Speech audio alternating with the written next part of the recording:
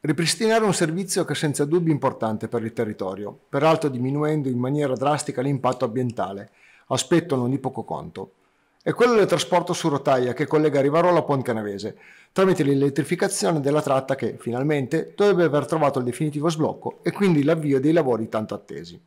La riapertura, dopo che il passaggio di treni da e per le nostre valli ha subito uno stop a fine del 2020, appunto per permettere il potenziamento delle infrastrutture del territorio, non avverrà come inizialmente previsto nel 2023, ma quest'anno sarà decisivo per compiere tutti i passi necessari per definire la realizzazione del progetto. Nei giorni scorsi la Regione Piemonte ha reso noto che entro la fine dell'anno vi sarà la gara di appalto, che a quel punto individuerà l'azienda che dovrà prevedere la realizzazione dei lavori per l'elettrificazione del sopracitato tratto, che porta sino a Pont, toccando diverse stazioni, Favria, Salassa, San Ponso, Valperga e Quarnier, le quali ormai da oltre due anni a questa parte sono inutilizzate per il servizio su rotaia.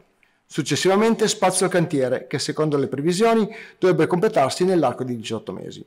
Una notizia che è vista come un punto a favore del territorio, anche se come spesso accade, c'è chi invece vorrebbe che a livello di movimentazione delle persone in maniera, tra virgolette, green, si applicassero soluzioni diverse, come ad esempio la realizzazione di un tracciato ciclopedonale al posto proprio dell'attuale tratta della ferrovia.